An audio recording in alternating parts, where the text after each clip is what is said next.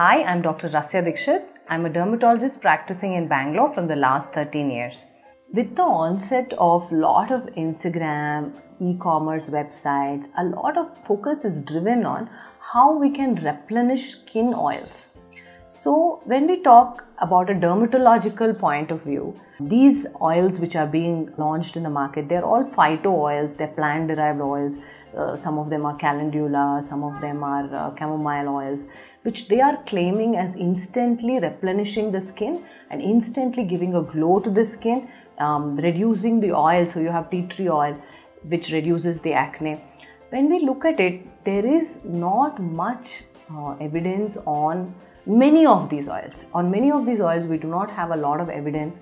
Some of the ones which we do have evidence is tea tree oil, which reduces seborrhea, that means oil secretion of the skin, therefore helps in treatment of both acne as well as dandruff. And the rest of the oils, not so much evidence.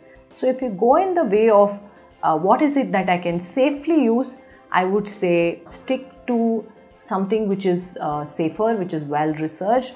These are not very cheap products that you're putting on your skin and they might not be safe or indicated for you as well.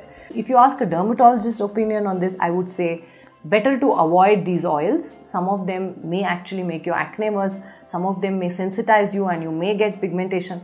I would generally uh, be wary of uh, giving patients with already sensitive skin or acne prone skin any of these products.